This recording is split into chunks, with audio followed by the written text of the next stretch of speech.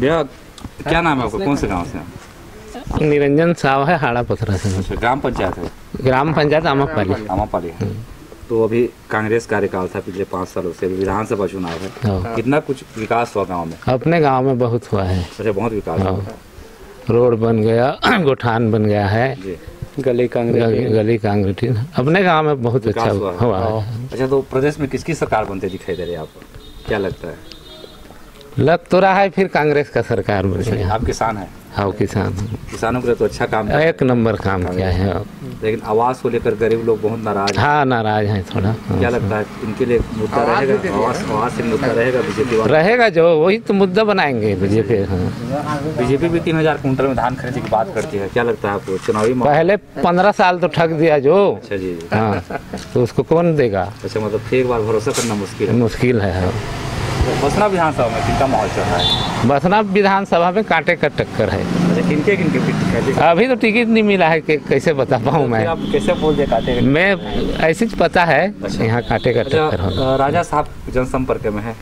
हाँ हाँ गाँव आते हैं। आते हैं आते हैं। अपने गाँव तो आते हैं भाई। जी जी जी। क्या लगता है फिर इनको एक बार टिकट मिलेगी? उनको मिलेगा कांग्रेस पार्टी बीजेपी से कौन कौन नेता जनसंपर्क में अभी संपत अग्रवाल है टीके लाल साहब है। अच्छा जी। और एक जने का तो नाम नहीं जान रहा हूँ मैं खैर फूटा का है। अच्छा खैर क्या- कुमार पटेल। अच्छा। पटेल नहीं भोई है। अच्छा। हाँ। चंद्र कुमार पटेल सरेपले से भी है हाँ गाँव गाँव में। हाँ भी घूम रहे हैं। क्या लगता है बीजेपी में कौन नेता ज़्यादा दिख रहा है आपको जनसंपर्क में क्या लगता है माहौल बीजेपी का? बीजेपी का माहौल ठीक है। ठीक है। अच्छा किसको टिकट मिल सकती है बीजेपी से? हम तो चाह रहे हैं नया चेहरा को मिलना चाहिए। नया चेहरा। हाँ। जो स्थानीय हो। स्थानीय हो। क्या नाम? सोमनाथ। सोमनाथ। बताइए क्या माहौल चल? रहा है गाँव में क्या हाल चाल है? बढ़िया है। बीजेपी का। विधानसभा चुनाव है। कितना उत्साहित है लोग वोट देने के लिए? वोट देने के लिए तो हमारे यहाँ सिर्फ़ ओनली कांग्रेस ही। है अच्छा कांग्रेस हाँ। कांग्रेसी गाँव है आपका? हाँ। अच्छा जी। जी कांग्रेस लीड में रहती है। हाँ। तो विधानसभा चुनाव है। क्या चल रहा है? बीजेपी के नेता लोग कौन कौन जनसंपर्क में है? कांग्रेसी गाँव है आपके। तो लोग ज्या- ज़्यादा जनसंपर्क कर रहे होंगे बीजेपी के लोग आपके गाँव कर रहे हैं अब पता नहीं उतना तो मेरे को मालूम नहीं है। हाँ। लेकिन कर रहे हैं। अच्छा। अब क्या है उतना लेन देन नहीं करते हम लोग। जी जी।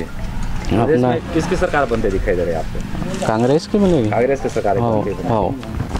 और मुख्यमंत्री जी का चेहरा कौन रह सकता है? भूपेश बघेल जी की भूपेश बघेल ही रहेगा। जी जी। हाँ। तो टी एस देव सिंह जी का नाम भी आता है क्या लगता है आप लोगों को? वो इस बार यहाँ पे वो वो अभी तो उतना मालूम नहीं। अच्छा जी।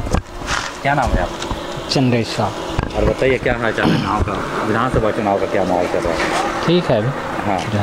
विधान बसना विधानसभा को लेकर क्या कहेंगे आप? इस बार कैसी रहेगी बीजेपी और कांग्रेस की? टक्कर तो रहेगी। अच्छा जी। हाँ तो है ये अभी पर लेकिन पिछले बार कहाँ बीजेपी और कांग्रेस में कहाँ टक्कर रहे थे? मतलब बीजेपी के प्रत्याशी जो थे हाँ उनका पैंतीस हज़ार वोट था।